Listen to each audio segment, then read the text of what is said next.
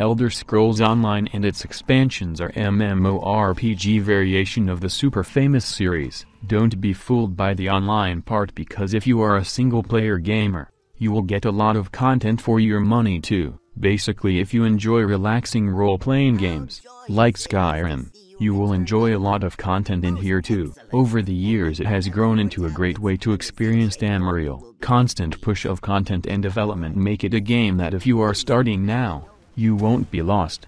But you will have a lot to do. I played ESO when it was released on PC and played it hundreds of hours. For this review and for my enjoyment I have played over 100 hours on PlayStation 4. The console version is as great and almost feels more relaxing than the PC version. Communication with others is easy with a keyboard or voice chat. Dash.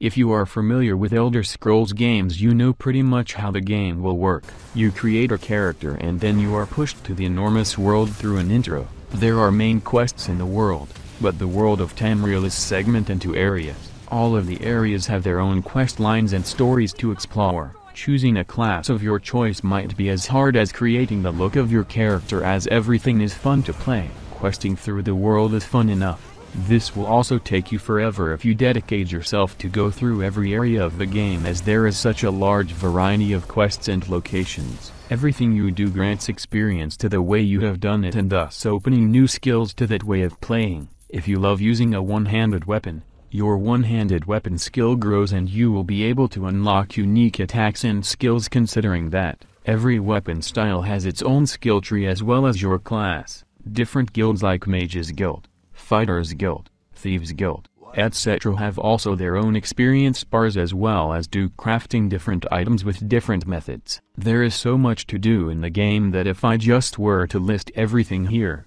that would take forever. Unlike in many MMORPGs you are not limited to choosing professions, you can level up and craft from clothes to heavy armors, from maces to destruction staffs. This gives you more possibilities when making money in the game as you can invest a lot of your time to upgrading all of your crafting skills. This way you are master of all styles and people will be purchasing a lot from you if you decide to sell them. A huge amount of achievements to fill, from fishing to furnishing your dream home to killing Daedric lords, huge PvP faction fights with hundreds of players and a ton more. If I were to list everything, this review would become way too long. There's a lot of variation on the continents and areas that are constantly being released with new quest lines and overhauled biomes. Dash.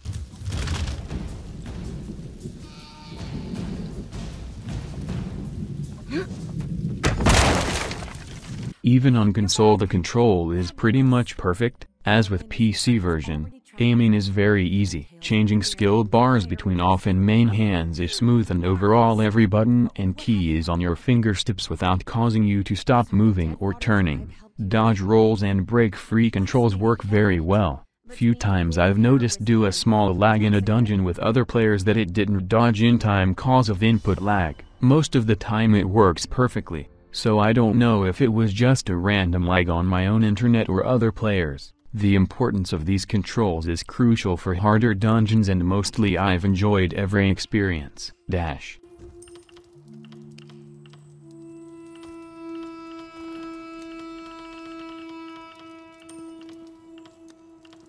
Audio-visual side of the game is one of the better MMORPGs. It has its own style and some areas are just stunning.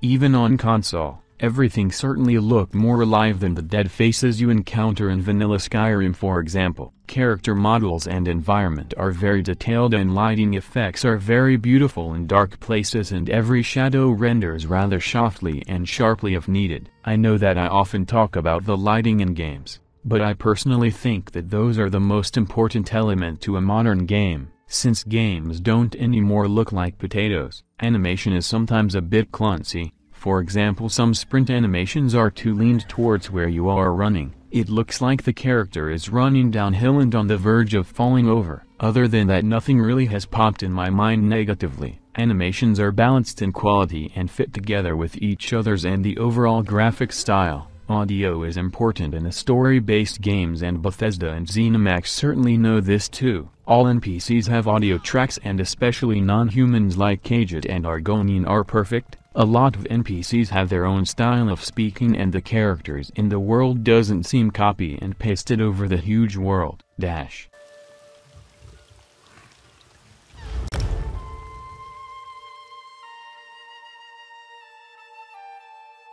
The game succeeds in many fields where other MMORPGs fail, but most hardcore players of this genre won't enjoy this. If you take a look at this a bit more from the casual side or a different kind of hardcore viewpoint, since you definitely can go all no life on this one.